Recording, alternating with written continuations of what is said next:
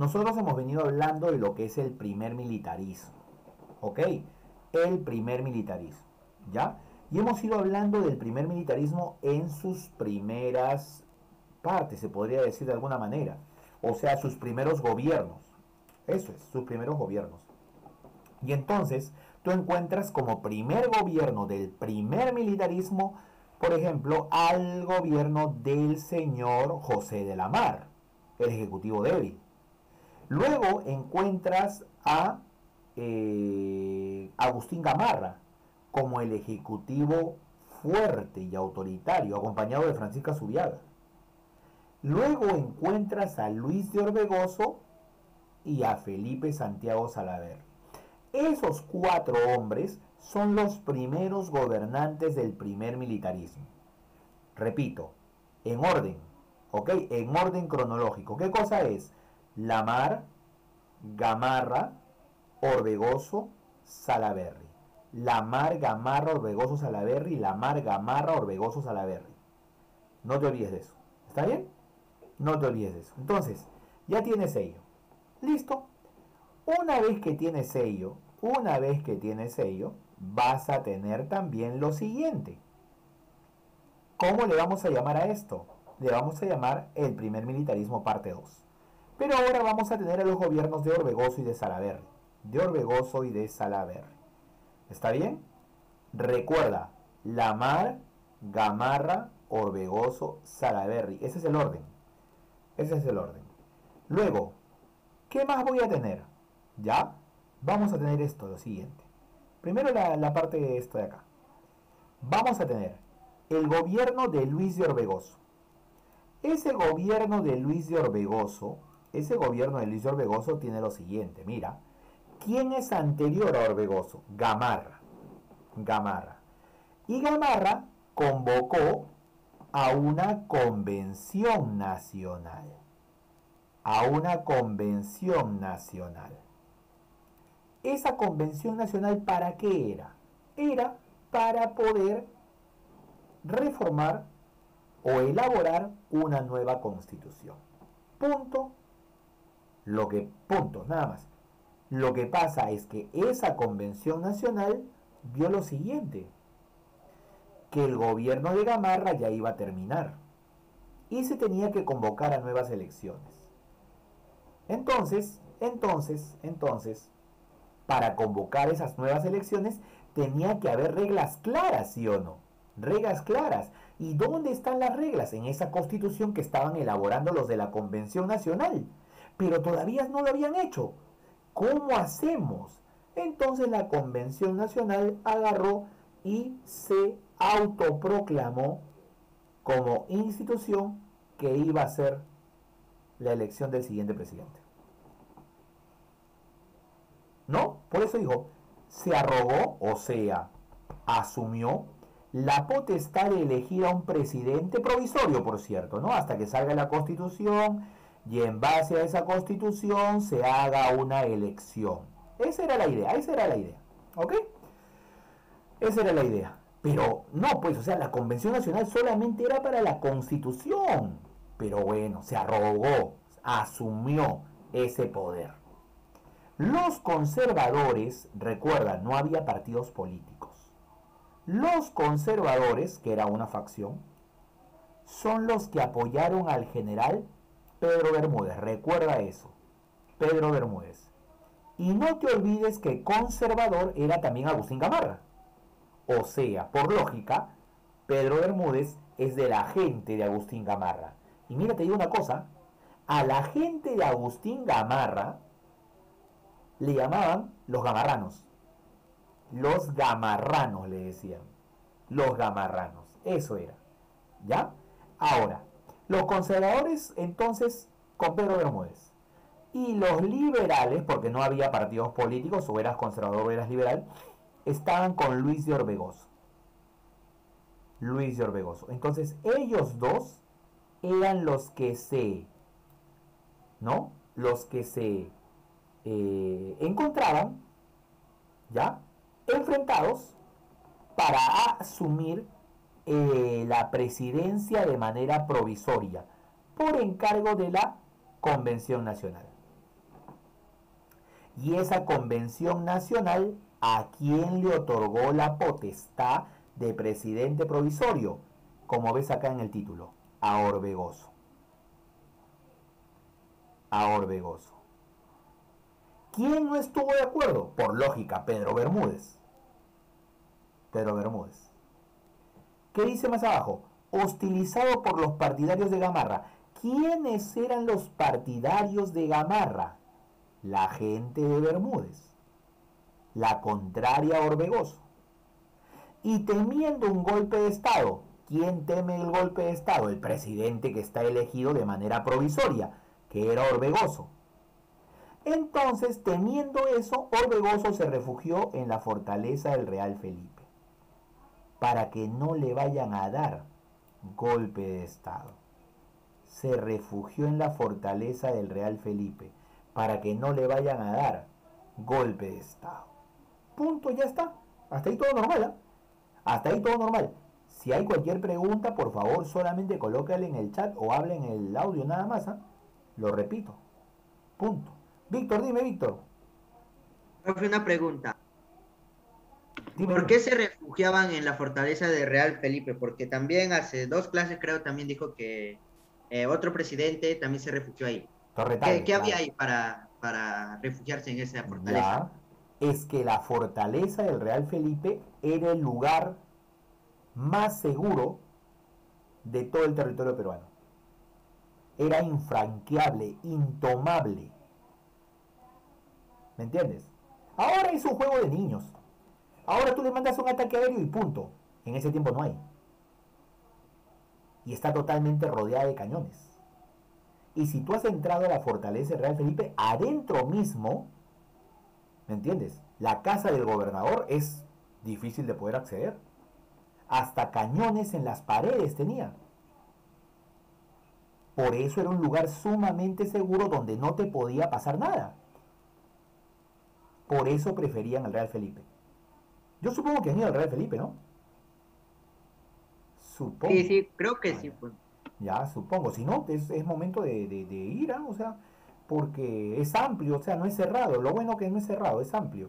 Sería bueno para que ustedes conozcan la casa del gobernador y vean, o sea, el Real Felipe ya es grande. Y dentro del Real Felipe es más espectacular todavía. ¿Ok? Bien, sigamos entonces. Ya sabemos entonces por qué. Sigamos. ¿Qué más vamos a tener? La guarnición de Lima se sublevó y proclamó jefe supremo al general Pedro Bermúdez. O sea, a ver un ratito. O sea, Orbegoso se fue a esconder para evitar que lo maten. Y entonces Pedro Bermúdez agarró y qué cosa? Se proclamó jefe supremo. O sea, desconoció a Orbegoso. Eso es lo que pasó. Desconoció a Orbegoso. Este amigo de Gamarra desconoció a Orbegoso. Es cierto. Es cierto. Pero eso generará qué cosa? Un enfrentamiento. Ahora Orbegoso sí tiene que salir, porque alguien se atrevió a asumir lo que a él le correspondía. ¿Me entiendes? Y entonces se genera lo que conocemos como la primera guerra civil del Perú, muchachos. La primera guerra civil del Perú independiente. El conservador Pedro Bermúdez, que se acaba de declarar, autoproclamar presidente, versus Orbegoso, el liberal, elegido presidente provisorio por la Convención Nacional y a quien realmente le correspondía. Es la primera guerra civil. Y en esa primera guerra civil, primera batalla, señores, batalla de Guaylacucho. Batalla de Guaylacucho. Batalla de Guaylacucho. Esa batalla de Guaylacucho, ¿qué significó? La derrota de Orbegoso. No total, parcial. Bermúdez ganó con su gente. Pero acá ocurre algo impensable que va a hacer que esta primera guerra civil llegue a su fin. Algo impensable, increíble. ¿Qué cosa, profesor? El abrazo de Maquinguayo, la paz de Maquinguayo, el acuerdo de Maquinguayo. ¿Qué pasó? las tropas de Pedro Bermúdez y de su enemigo Luis de Orbegoso se encuentran en el llano de Maquinguayo, al centro del Perú, dándose un abrazo de confraternidad. ¿Cómo? Bermúdez y Orbegoso conversaron para ambos poder estar a cargo del poder. Claro, que el oficial sería Orbegoso, por eso tú ves ahí gobierno de Orbegoso. Pero con eso, Pedro Bermúdez estaba traicionando a quién? ¿A quién estaba traicionando? Pedro Bermúdez. A Gamarra. Exacto, con esa actitud estaba traicionando a Gamarra. Profe, pero lo que me va contando la semana pasada, esta semana, o sea, todo es traición, todo es, o sea, en el gobierno, eso es cierto, pues. Esa es la verdad. Por eso tú te das cuenta ahora que algunos que hablaban en oposición a tal o cual candidato, ahora son sus aliados. En política uno no sabe al fin, al fin quién va a apoyar en un futuro. ¿Ok? Y este es un ejemplo más. Ahora, otra cosa más. Ahora, entonces, ¿quién es el presidente oficial y presidente provisorio? Es el señor Orbegoso. ¿Quién es su aliado ahora que antes era su enemigo? El señor Bermúdez. ¿Y quién es el opositor entonces en totalidad de Orbegoso? Gamarra. Así va a ser. Gamarra. Y bien, promulga durante el tiempo de Orbegoso, ¿qué se acepta? Promulga la Constitución Liberal de 1834 Constitución que sacó quién? Recuerda quién tenía que hacer la, la constitución. La Convención Nacional, ahí está. Constitución Liberal de 1834 establece la Sociedad de Beneficencia Pública de Lima, la Beneficencia Pública de Lima. ¿De qué trataba eso, profesor? La beneficencia era para poder garantizar, por ejemplo, tu entierro. Era la encargada de los cementerios, era encargada de los asilos, era encargada de los lugares donde daban alimento a, los, a la gente pobre. O sea, esa era la beneficencia pública de Lima. ¿Ok? ¿Qué más? ¿Qué más? Esos dos puntos nada más, nada más, porque todo lo demás del tiempo solamente fue lucha, enfrentamiento entre estos dos bandos. Por eso fue una guerra civil. Es guerra civil es cuando dos bandos de un mismo territorio se están enfrentando. Se están enfrentando. ¿Está bien? Y ahí nada más se da la sublevación de Felipe Santiago Salaverry. Lo que pasa es que Orbegoso había viajado a Arequipa. Y Salaverry, aprovechando que Orbegoso estaba en Arequipa, Salaverry está en Lima, agarra y se subleva en la ciudad de Lima. Desconoce a Orbegoso como gobernante. ¿Ya? Desconoce a Orbegoso como gobernante. Y Orbegoso Caballero tuvo que quedarse en Arequipa. Y Salaberry, con sus 29 años, llega a proclamarse presidente del Perú. Aunque te diré que él agarró y absorbió, asumió otro nombrecito, no necesariamente el de presidente del Perú. Lo que sí va a ser su característica es que se convertirá en el presidente más joven de toda nuestra historia. No hay presidente más joven en toda nuestra historia más que Salaberry. Salaberry llegó con 29 años a la presidencia, por golpe de Estado, eso sí, por golpe de Estado. Porque eso que está haciendo ahí es un golpe de Estado. Ahora, por ahí alguno me dirá, profe, pero yo he escuchado a mi mamá, a mi papá, que dice que el presidente más joven es Alan García. Alan García es el presidente más joven elegido constitucionalmente por votación. Y aún así, tiene 36 años. Salaberry fue por golpe de Estado y tenía 29 años. Así es. ¿Ya? Entonces, ¿quién se proclamó presidente? Acá está. Felipe Santiago Salaverry. Felipe Santiago Salaverry. Él se proclamó presidente. Profe, pero va a gobernar solamente qué cosa? Un añito nada más. Un añito nada más estuvo en el poder. Un añito en el poder nada más. A ver, ¿qué es lo primero que hace Salaverry? Desconoce Orbegoso. Lo desconoce. ¿Ya? El 22 de febrero de 1835, en los castillos de Real Felipe, se sublevó Salaberry. Proclamándose jefe supremo de la República, o sea, un título de carácter militar. Un título de carácter militar, eso es. Ok, Salaberry proclamado jefe supremo de la República. Ya está ya. Ni apenas entró al poder tras desconocer a Orbegoso, ni apenas entró al poder, estableció la comisión de la acordada ¿Qué cosa es esto? Había un flagelo que estaba pues desarrollándose en el Perú y no se podía controlar, se hacía casi incontrolable. ¿Qué cosa? La delincuencia, el bandolerismo, el robo, se convirtió en una normalidad.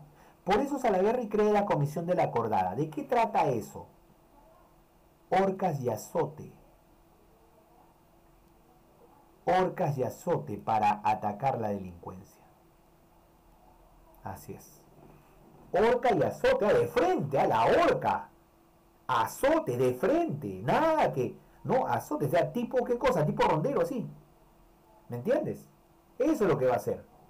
Comisión de la acordada. Comisión de la acordada. Todo para atacar la delincuencia, para vencer la delincuencia. Otra cosa más. Orbegoso solicitó la cooperación de Bolivia para poder recuperar el poder. O sea, Orbegoso, el presidente que estaba en Arequipa y que fue desconocido por Salaberry, le pide por favor al señor Santa Cruz, oye, ayúdame a recuperar el poder en Lima, pues, en el Perú. Y Santa Cruz le dice, si yo te ayudo a recuperar el poder, ya, bacán, yo te ayudo a recuperar el poder, pero, eso sí, hacemos la Confederación Perú-Boliviana, la Unión de Perú y Bolivia. ¿Y Orbegoso qué le dice? Ya, pues, ya, pero me ayudas a, regresar al poder. Listo, te ayudo. Es por eso que se convence, ¿me entiendes?, a Santa Cruz, el boliviano, para que ayude a Orbegoso a recuperar el poder antes a la Berry, que lo había asumido. ¿Quién lo había asumido? ¿Me entiendes? Y entonces se queda, ya, listo. Santa Cruz ayuda a Orbegoso para que recupere el poder y saque a Salaverry, pero se compromete a que Perú y Bolivia iban a quedar juntos. Listo. Listo. Ya está ya. Este proyecto de la unión de Perú y Bolivia se opuso a las ideas de Salaverry y también de Gamarra. Gamarra y Salaverry estuvieron en contra de ese proyecto. Profesor, ¿y cómo se iba a llamar ese proyecto? La Confederación Perú-Boliviana la Confederación Perú-Boliviana, así se iba a llamar. La Confederación Perú-Boliviana, así se iba a denominar.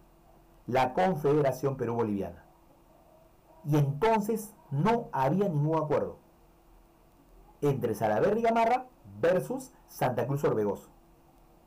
Tanto así que van a iniciarse la única forma de poder solucionar todos estos problemas. ¿Cuál? Las batallas. De Yanacocha, Uchumayo y Socabaya.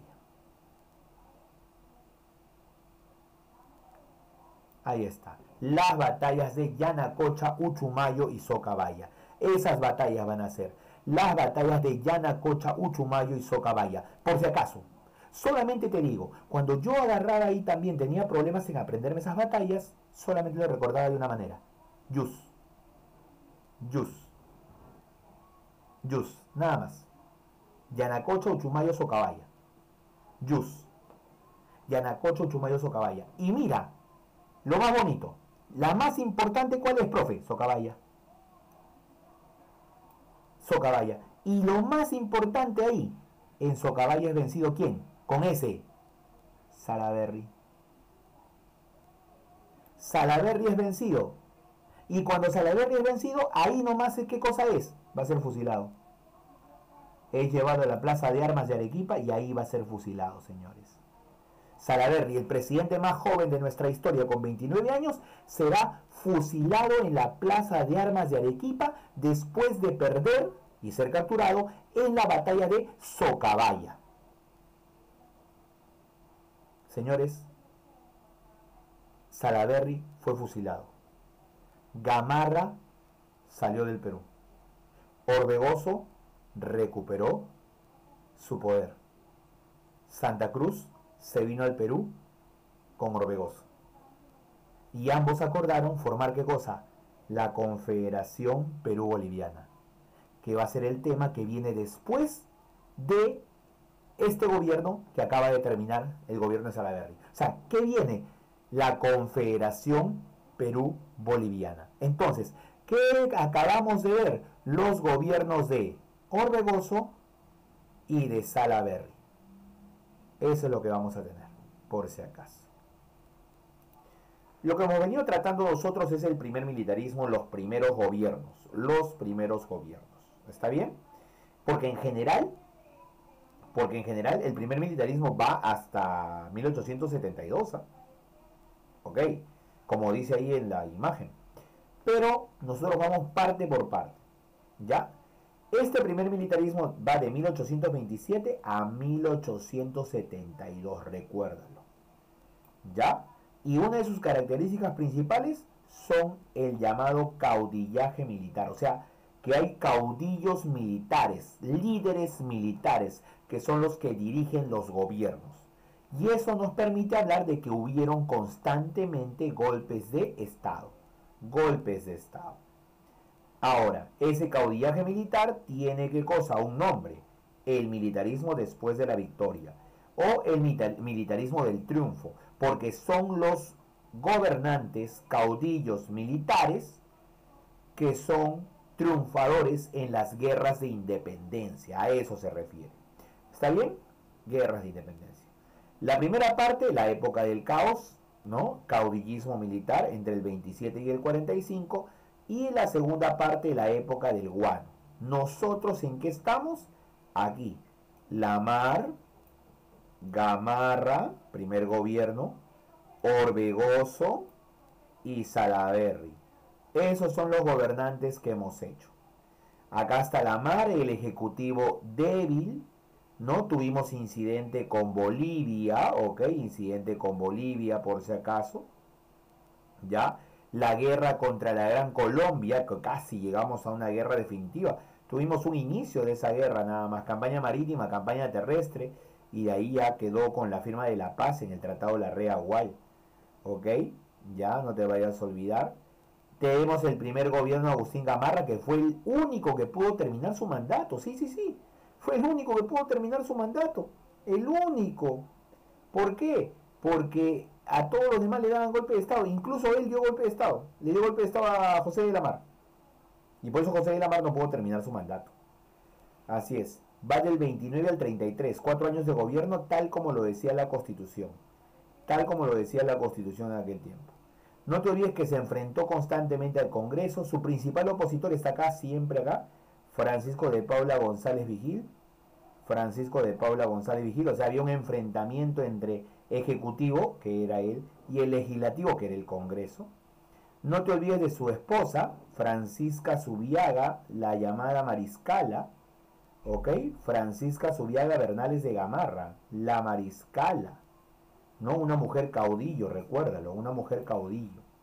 Eso es, acá está, la mariscala, Francisca Zubiaga. Acá están las principales obras. El segundo debate doctrinario, ¿qué cosa es eso? Yo te he mencionado ya en el desarrollo de las clases que no había partidos políticos, que o eras liberal o eras conservador. Nada más. Liberal, el poder entre varias personas. Conservador, el poder en una o en pocas personas.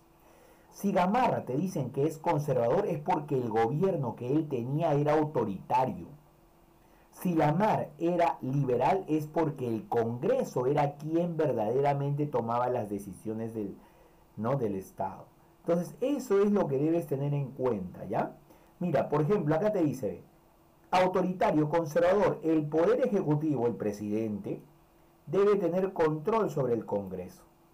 ¿Me entiendes? Eso es, por si acaso.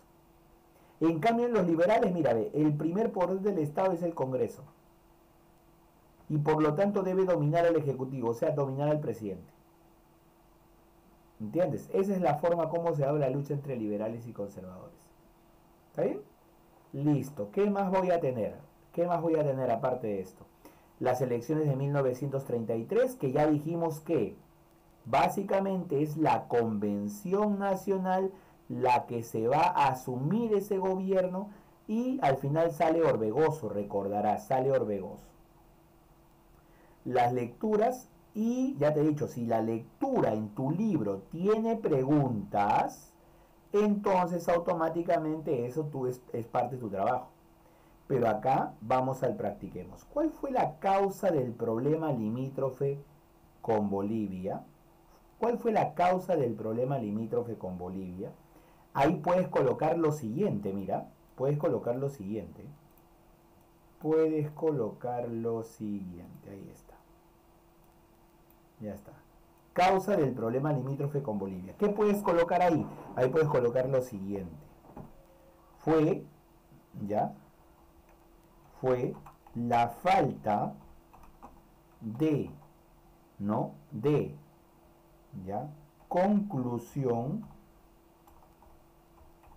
en la delimitación de la frontera la falta de conclusión en la delimitación de la frontera. Ese es número uno. Y número dos, otra causa es la influencia bolivariana en el altiplano. O sea, Bolivia está dominada ideológicamente, políticamente por los bolivarianos. En este caso, con su primer presidente, Sucre. ¿Ya? Con Sucre.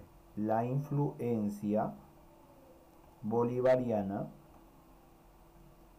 en el altiplano Sucre. Ya está. Eso es. Eso es lo que podemos colocar en ese primer punto. ¿Qué sería? ¿Mm? Primer militarismo. Claro. Primer militarismo. Correcto, ahí está, facilito. Sacerdote liberal. Es la única persona que hay. Besito. Ahí está. Besito. Y ahí, mm, caudillo militar cusqueño nació en Cuenca, Ecuador. Ya, ¿el cusqueño quién es? Gamarra. ¿Y en Ecuador quién es? Bueno, Ecuador en ese momento no existía, por eso normal, ¿no? Ya está. Listo, eso es lo que tenemos. ¿Cuál fue el papel que jugó Francisca Subiaga durante el gobierno de Gamarra. Fue su esposa, ¿ok?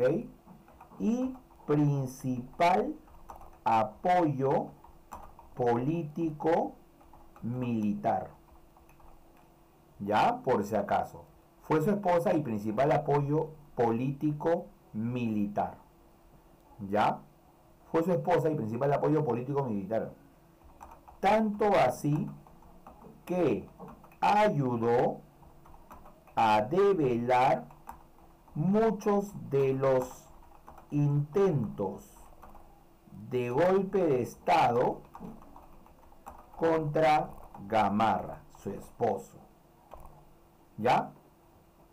Tanto así que ayudó, ayudó a develar, a descubrir muchos de los intentos de golpe de Estado contra Gamarra. Ya está, ya, listo. Eso es. Eso es lo que deberíamos colocar ahí. Eso es lo que deberíamos colocar ahí. Así que ya está ya. Ya, eso es lo que deberíamos colocar ahí. Gobierno liberal. Gobierno donde ya ¿no? la dirección del mismo es manejada por el Congreso. Punto por el Congreso. Ya, por el Congreso. Que controla el Ejecutivo. ¿Ok? ¿Qué es el Ejecutivo? El presidente y los ministros. Controla el Ejecutivo. Ya está, ya. Listo. Eso debo tener. En un gobierno conservador, en cambio, ya, en un gobierno conservador, en cambio, el, ya, control y administración del gobierno está en manos del Ejecutivo. ¿Y qué es el Ejecutivo? Presidente y ministros. Eso es. El control y administración del gobierno está en manos del Ejecutivo, presidente y ministros. Ese es un gobierno conservador en, en presidente de ministros. Entonces, logran ya imponerse ante el Congreso. Ya está. Eso es, logran imponerse ante el Congreso. Punto, ya está. Entonces, comenzamos para poder dilucidar cuáles son las preguntas que me pueden venir. A ver, puede ser lo siguiente. Primer presidente constitucional del Perú, así, con ese nombre, constitucional. ¿Quién será ese señor? José de la Mar. José de la Mar. Correcto, muy tarde, pero ya, ahí está, ahí está, de todas maneras. Firmó el tratado de Piquiza para su renuncia José de la Mar. La 2, la 2, la 2, la 2. Firmó el tratado de Piquiza para su renuncia presidencial, dice. O sea, no dice durante qué gobierno se firmó el tratado de Piquiza. Dice para su renuncia presidencial. ¿Quién renunció a la presidencia con el tratado de Piquiza? El presidente de Bolivia, Sucre. ¿Ok? Eso es. El almirante Guise triunfó en el combate de dos combates, Malpelo y Tres Cruces. ¿Cuál está? Ahí está. Malpelo. El primer militarismo se inicia con el gobierno de quién? ¿Quién es el primer presidente del primer militarismo? Ah, muy bien. La Mar. Para poner fin a la guerra contra Colombia, ¿qué se firmó? ¿Qué se La REA y la GUAL. La REA GUAL, el tratado La REA GUAL con la Gran Colombia. José de la Mar fue elegido constitucionalmente en 1827 1828. con la constitución de 1828. No, pues, pero si fue elegido en 1827, ¿cómo va a ser elegido con la del 28, pues? La del 28 es la que él hizo. La del 28 es Ah, 1826, disculpe. Correcto, con la vitalicia de 1826. Correcto, con la vitalicia de 1826, nada más. Por lógica. Primer tratado firmado con la República de Ecuador. Somos el primer país que le reconoce a Ecuador su libertad. Ya está ya. Listo. Suficiente, nada más, mira. Ya está mi tarea. Al toque. Ya hice mi tarea. ¿Ok? Ya lo hice mi tarea y solamente faltó esta parte de acá. Listo. Listo. Va con la 15. Va con la 15. Va con la 15. A ver, ¿qué más vamos a tener aquí? Primer militarismo 2. En ese primer militarismo 2 que hemos desarrollado el día de hoy, vamos a tener dos gobiernos. El de Orbegoso, el de Orbegoso, ¿ya? Que se enfrentará a Pedro Bermúdez, ¿ya? Acá está la única batalla de la guerra civil, ¿te acuerdas? Batalla de Guaylacucho o Guaylachuco, no hay problema. Guaylacucho o Guaylachuco, no hay problema. Y acá están las principales medidas del gobierno de Orbegoso. Constitución Liberal de 1834, Beneficencia Pública de Lima, ok, eso es. Ya está. La sublevación de Salaberry. O sea, Salaberry, ¿te acuerdas? Es el que dio el golpe de Estado. Ahí está, pues, Salaberry. ¿Entiendes? Varios amigos fueron a donde Orbegoso a revelarle el peligro sobre Salaberry. Orbegoso llegó a decirle a Salaberry, me han dicho varias veces, no, varias personas, que trata usted de hacerme revolución. Salaberry respondió, si así fuese, señor general presidente, principiaría fusilando primero a vuestra excelencia. O sea, le decía que no, pero al final fue sí. Le dijo que no se iba a revelar, pero sí se reveló. Ahí está. Salaverry tenía bastante influencia sobre Orbegoso, que no se percató de las intenciones para apoderarse del mando. Así es. Esa es la sublevación. Ahora, después de que Orbegoso cae, entra quién? Salaverry, el presidente más joven del Perú. El presidente más joven del Perú. ¿Ya? Ese es, el presidente más joven del Perú asumió el cargo diciendo, la época es de los muchachos, porque era jovencito, pues. O sea, para ese momento era, era jovencito, por si acaso. ¿Ya? Ahora, él es el que asume el título de jefe supremo de la República. No te olvides, jefe supremo de la República. Y además, Acá dice claramente, acá dice claramente, Salaverry es considerado el presidente más joven del Perú. Ahí está. De esa forma. Ya, Orbegoso se unió a Santa Cruz. Este vio la oportunidad de realizar el sueño de unir Perú y Bolivia a la Confederación. Gamarra decidió aliarse a Salaverry desatando la guerra. Señores, ¿para qué? Otra vez el enfrentamiento. Por un lado, los que no querían la Confederación. Por otro lado, los que sí querían la Confederación. ¿Quiénes eran los que no? Gamarra, Salaverry. ¿Quiénes eran los que sí? Orbegoso, Santa Cruz. ¿Cuántas batallas dijimos? Tres dijimos, tres. Yanacocha, Uchumayo y Socabaya. Y claramente te he mencionado que, claramente te he mencionado que Socabaya es la más importante, porque ahí nada más que cosa es capturado y se da el fusilamiento de Salaverry. Ya está. Eso es lo que va a ver. Socabaya, no te olvides. Acá una lectura sobre la obra administrativa de Salaverry, ¿ya? Y practiquemos, qué es lo que nos toca. O sea, te has hablado, hay lectura, pero no hay, no hay preguntas sobre la lectura. Entonces, vamos con lo siguiente acá. Profe, yo no tengo eso. Sucesos importantes durante la Primera Guerra Civil del Perú. Primero tengo que saber quiénes se enfrentaron. La primera, la primera, uy, ¿qué pasó? ¿Qué pasó? ¿Qué pasó? Ahora sí. La primera guerra ¿ya? civil fue entre Orbegoso y Bermúdez.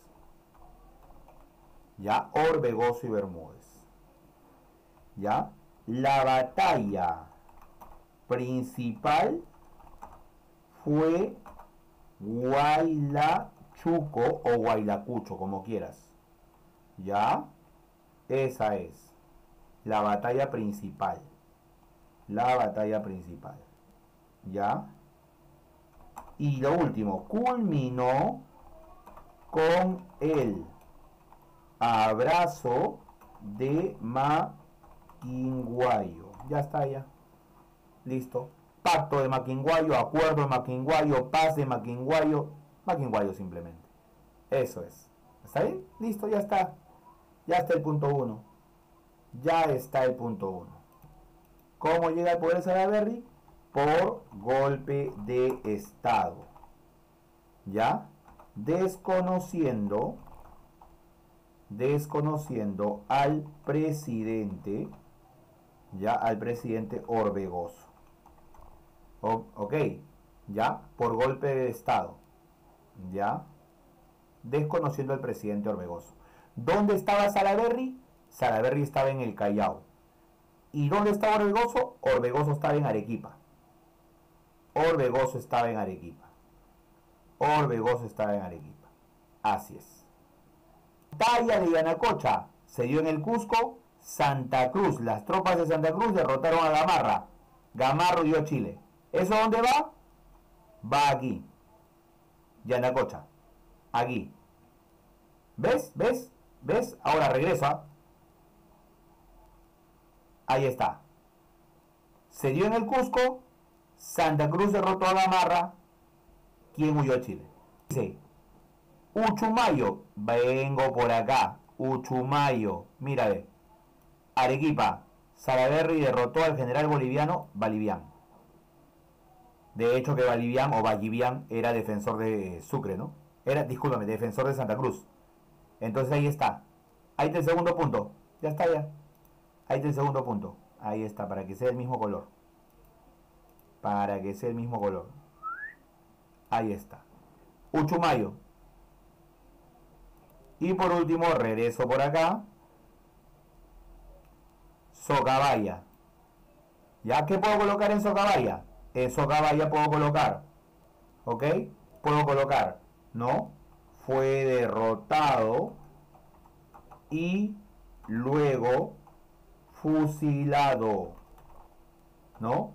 Salaberry. Acá, primero la primera palabra debió ser. Salaberry fue derrotado y luego fusilado. ¿En dónde? En Arequipa. Ahí se dio los acontecimientos. En Arequipa. Ya está. Socavalla. Ahí está. Suficiente. Suficiente para poder explicar ello. Suficiente. Berry fue derrotado y luego fusilado en Arequipa. Esa es la batalla final. Es la batalla con la cual ya culmina todo y automáticamente comienza qué cosa? La Confederación Perú-Boliviana. La Confederación Perú-Boliviana. La Confederación Perú-Boliviana. Listo, ya está.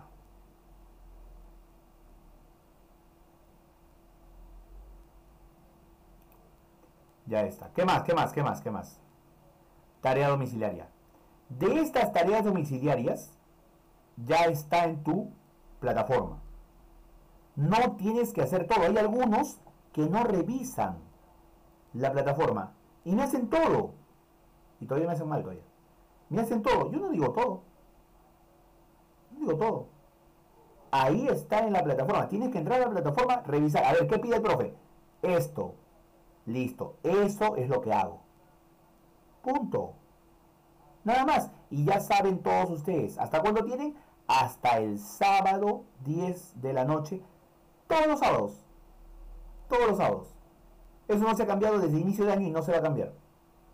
Ya lo saben ya. ¿Ok? Entonces, eso es lo que tenemos muchachos para el día de hoy. La siguiente haremos el repaso no correspondiente. Listo muchachos, hasta ahí sería el día de hoy. Un abrazo para todos ustedes. Nos estamos viendo. Chao, chao. Gracias, gracias. Muy buenas tardes con todos ustedes. Chao. Chao, profesor, cuídese. Chao, chao, nos vemos. Profesor, cuídese. Igual, igual.